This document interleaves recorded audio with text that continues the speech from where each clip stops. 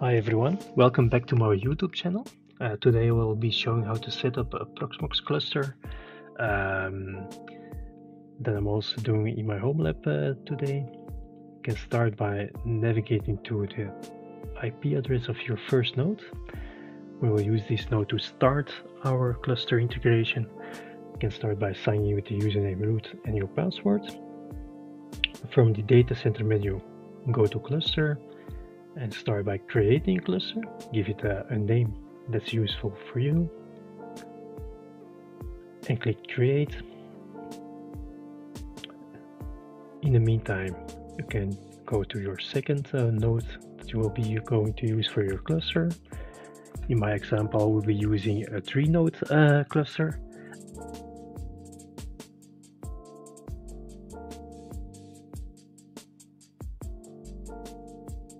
This time, instead of creating cluster, click uh, join cluster.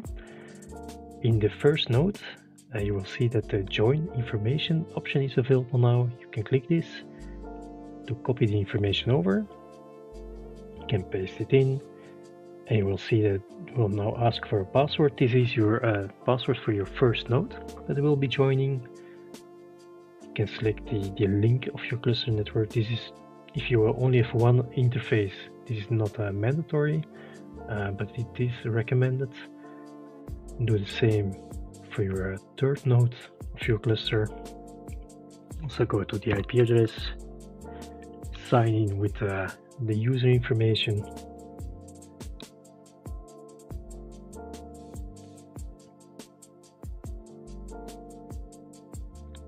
go to cluster and join cluster, copy over the join information,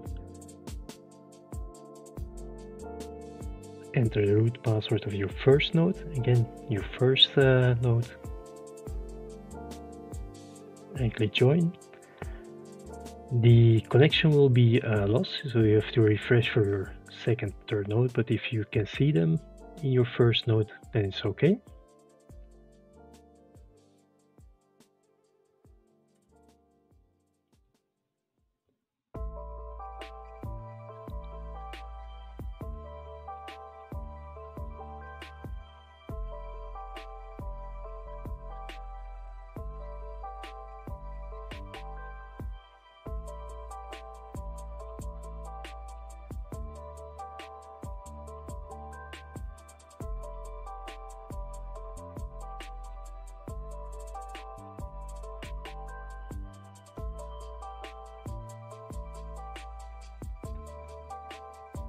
Now that we have uh, joined our nodes to the cluster, we will go to uh, Ceph. And Ceph will uh, help us to consolidate our storage between our nodes. Just select uh, no subscription, select next. And when it uh, prompts for a confirmation, you can press uh, Y to confirm.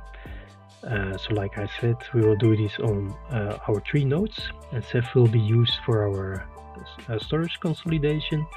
So every node has a, an extra disk uh, inside that will be used for our data and for our virtualization uh, machines. Um, by installing Ceph, our nodes will consolidate storage between three nodes and over the network one big uh, storage uh, RAID, uh, you can call it, will be created. So when we go to our third node, we will also install Ceph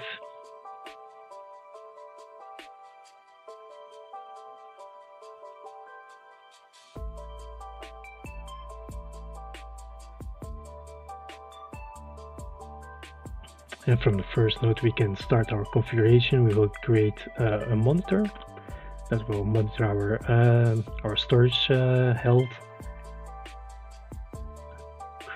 Select next. For the second and third node this will not be needed to uh, configure.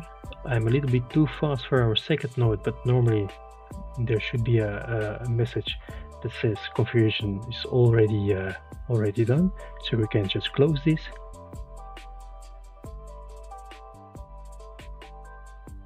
and we go to our third node we press next and you will see the configuration is already initialized so it's already okay what we will do next is go back to our, uh, for example, second uh, node. Doesn't doesn't really matter. We'll go to uh, Ceph, go to monitor, and we'll add our second and third node also to be a, a monitor. So if in case our first node is down for let's say maintenance or, or schedule reboot, uh, the other ones can take over.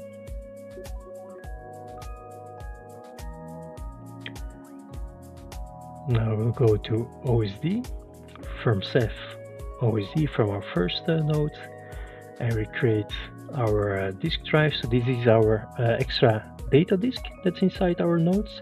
And just edit from our uh, first, second and third node. You don't have to do it uh, through the, the interface of every node. So like you can see, now we'll go to our second node through the web interface of our first node because they are now uh, joined inside the, the cluster.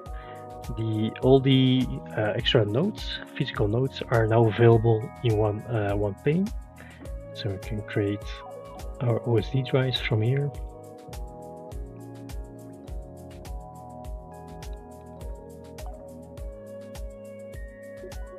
Now that the OSD drives are added, we can create a storage pool. So we go back to Ceph to pools and we can create one big uh, disk over our uh, three nodes. It's one one uh, RAID uh, array across the network.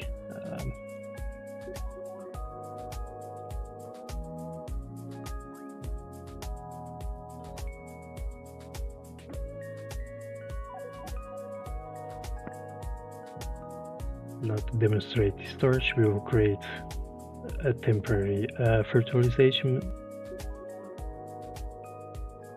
Give it a name, press next. Don't have any ISOs uh, available right now, so we just select uh, do not use any media. Go next. You can select, for example, Windows 10. For the Windows 10, they recommend to uh, select a QEMU uh, agent.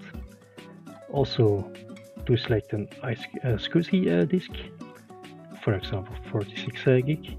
For our pool, we select our newly created uh, uh, storage. We select write back and discard for also the best uh, disk performance. For example, give it 2 cores, uh, 4 gigs of memory.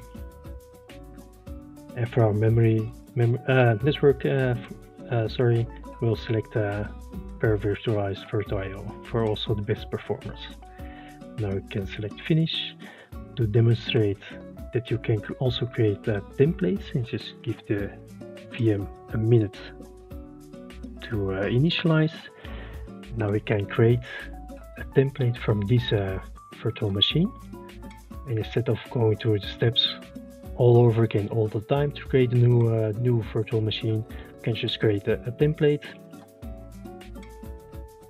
and when it's done you will see that the icon of the uh, machine changes to indicate that it's a template. We can clone this as a linked clone. So in this uh, example, we'll create a full clone. Uh, full clone is not has, has, nothing to do with, with its parent template. Um, so you can do with what you want. You can also migrate it you will see in this example. I will try to migrate our template um, so you will see in just a second that it will uh, abort because uh, you cannot migrate your template. And now we'll uh, try to migrate our virtual machine. And you will see that you can migrate it to a node 2 or 3 so in this example, we will choose node 2. Uh, and because the storage is shared, it's almost instantly that you will migrate. Now do it again to node 3, for example. And there you go. That's how you create uh, a cluster in uh, Proxmox. I hope you enjoyed this video. It's new, uh, new style. Uh, don't forget to like and subscribe, and I'll hope to see you next time.